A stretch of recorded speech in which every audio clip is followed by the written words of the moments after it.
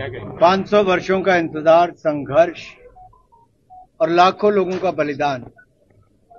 आज वो पल आया है कि जब 22 जनवरी को प्राण प्रतिष्ठा अयोध्या धाम में होगी, भव्य राम मंदिर का निर्माण हुआ है और महर्षि वाल्मीकि जी के भव्य एयरपोर्ट का उद्घाटन हुआ। है वंदे भारत से लेकर अमृत भारत ट्रेनों का संचालन हुआ है। एक तरह से आध्यात्मिक नगरी तो बनेगी, आधुनिक भी होगी। सुविधाओं से लैस होगी। देश के हर कोने से कुछ ना कुछ आ रहा है। कहीं तिरुपति बालाजी से लाखों लड्डू बनकर आ रहे हैं तो कहीं सबसे बड़ा घंटा बन के आ रहा है, कहीं पे कुछ और बन के आ रहा है तो इससे दिखता है कि देश के हर प्रांत, हर विचार के लोग आज भव्य राम मंदिर के निर्माण और प्राण प्राण प्रतिष्ठा के इस कार्यक्रम के साथ जुड़ रहे हैं। भारतीयों के अंदर एक खुशी है, देश और दुनिया भर में। और मुझे लगता है इससे बड़ा उत्साह का पल क्या होगा? पूरा देश जहाँ एक और पूजा और वहीं पर एक और दीपोत्सव भी बाईस तारीख शाम को मनाएगा। इससे पहले भी घर घर जाकर लोग अक्षत बांट रहे हैं बहुत सारे और कार्यक्रम चल रहे हैं अपने घरों पर। भगवान राम के पताका झंडे लहराए जा रहे हैं।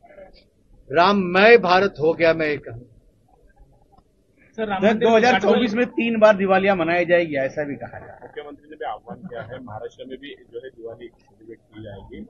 और टीएमसी कमिश्नर पूरे महाराष्ट्र के जितने भी म्यूनसिपल कमिश्नर हैं उनको आदेश है कि पूरा देखिए, पूरे देश के लिए हर, देखिए, पूरे देश के लिए एक बहुत बड़ा पल समाज के सभी वर्गों ने इसका बहुत स्वागत, अभिनंदन भी किया है। और हम भी चाहते हैं कि जब इतने वर्षों का लंबा इंतज़ार खत्म हुआ और कोविड काल के समय, जब दो सालों में लोगों का घर बनकर तैयार नहीं हो पाता है, उन्हीं दो सालों में कर्तव्य पथ नया संसद भवन भारत मंडपम यशो भूमि से लेकर अब भव्य राम मंदिर का निर्माण भी ये बढ़ते भारत के कदम है, जब नए आयाम स्थापित हो रहे हैं। चंद्रयान मिशन की सफलता से लेकर आदित्य एल वन सोलर की सफलता, ये भारत की गूंज, भारत की उपलब्धियों की गूंज आज देश और दुनिया में है।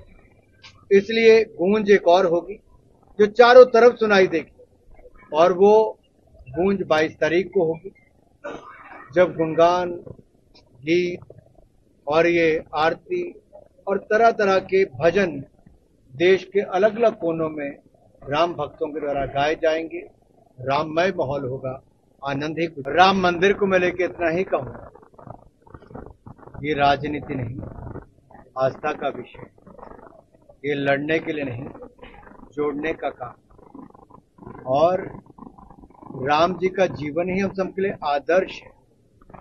और हम सब लोग मर्यादा पुरुषोत्तम राम जी के जीवन से बहुत कुछ सीखें भी और राम राज्य के लिए अपना योगदान भी हमसे जुड़े रहने के लिए हमारे YouTube चैनल को सब्सक्राइब करें और नई वीडियो की नोटिफिकेशन के लिए बेल आइकॉन को दबाएँ।